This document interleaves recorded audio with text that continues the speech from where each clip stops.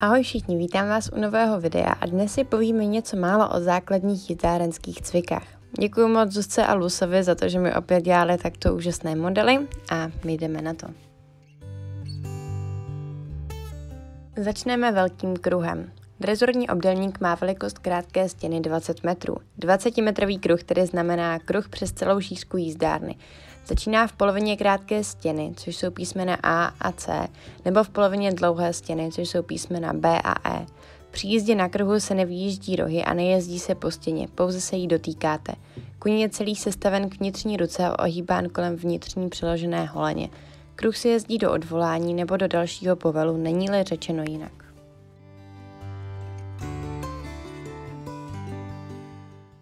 V kruhu změnit směr je důležitý cvik sloužící ke změně směru. Jezdíme ho tak, že ve velkém kruhu uděláme půlkruh jako na malém kruhu o průměru 10 metrů. Na středu kruhu dojde k narovnání koně. V tento moment musí kuň udělat alespoň dva kroky rovně a my ho v tu chvilku přestavíme k druhé straně. Následně doděláme půlkruh na druhou stranu a poté pokračujeme ve velkém kruhu. Dalším cvikem je cvik kruhy změnit. Používá se zpravidla při ježdění na velkých kruzích. Jezdec jedoucí na velkém kruhu v bodě X opustí aktuální kruh a najede na kruh na druhou ruku. Při přestavování k druhému kruhu je opět důležité, aby šel kuň alespoň několik kroků úplně rovně. Platí zde zásady ježdění na velkých kruzích, co znamená, že kuň musí být celou dobu ohnutý. Tento cvik lze jezdit i s desetimetrovými kruhy. Pak se většinou jezdí napříč jízdárnou a kruhy se mění na středové čáře. Tento cvik nazýváme kruh zmenšit, navazuje na něj kruh zvětšit. Jezdíme ho z velkého kruhu. Při dělání tohoto cviku je kuň sestaven k vnitřní ruce a spirálovitě koně vnější holení vytlačujeme směrem dovnitř kruhu, až se dostaneme na velikost malého kruhu. Zde je důležité, aby byl zachován i na malém kruhu střed velkého kruhu. Jezdec zůstane na malém kruhu, dokud není zavolen cvik kruh zvětšit. Ten probíhá opačným způsobem. Kuň je sestaven k vnitřní ruce a vnitřní holení je spirálovitě vytlačován zpět na velký kruh.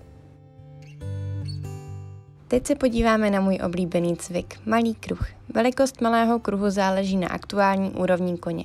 Musí být dostatečně velký, aby její kuň byl schopen projet rovnoměrně ohnutý a bez ztráty kmihu. Zatímco pro koně na úrovni Z je malý kruh 10-metrový, pro koně na úrovni T se jedná o 6-metrový kruh. Je možné jej provádět kdykoliv na stěně i na střední čáře, dle určení trenéra. Nyní přejdeme ke cvikům, ve kterých už kruh nefiguruje. Začneme cvikem od stěny ke stěně. Cvik se jezdí na dlouhé stěně. Začínáme v prvním písmenku stěny. Od stěny odjedeme tak, abychom mezi X a prostředním písmenkem dlouhé stěny byli 5 metrů od stěny. V tento moment si koně přestavíme a obloukem jedeme k poslednímu písmenku dlouhé stěny. Cvik se jezdí opakovaně, dokud trenér neřekne jinak.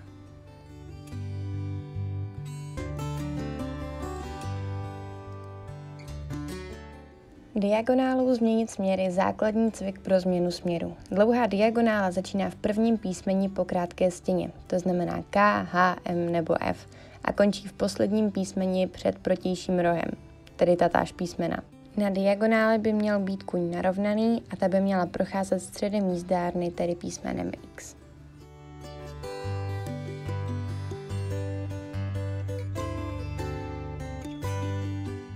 Dalším cvikem je cvik půl jízdárny. Ten jezdíme z písmene E nebo B do písmene naproti, což je opět E nebo B. Tento cvik se provádí buď se změnou směru, nebo bez změny směru.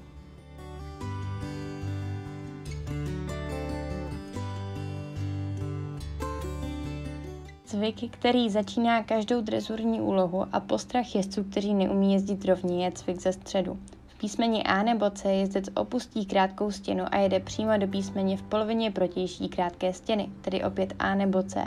Nesmí se odchýlit ze střední čáry a musí projet středem jízdárny přes písmeno X. Po napojení na stěnu je možno buď to pokračovat na stejné ruce nebo změnit si směr.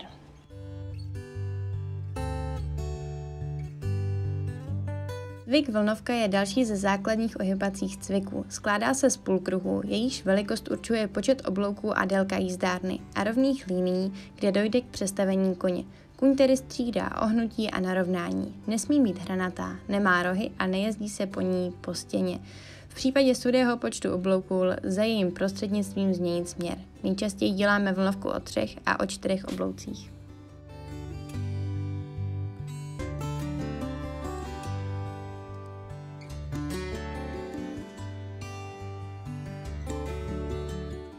Poslední cvik, o kterém vám dnes povím, je obloukem změnit směr. Je to další možnost změny směru při ježdění po celé jízdárně. Jezdec vyjede ze stěny na malý kruh, ale nedokončí jej a pokračuje na stěnu na druhou ruku.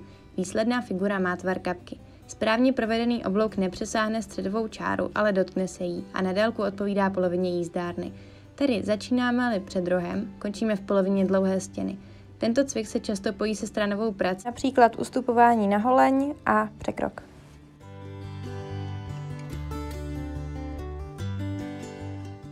Nakonec vám sem dám Lusíčku v krásný přeskok, už se jim se Zuzkou daří, protože Lusíček se takové přeskoky učí. A já doufám, že se vám video líbilo, že jsem vás opět naučila něco nového. Budu moc ráda za vaše reakce v komentářích, mějte se krásně a papa.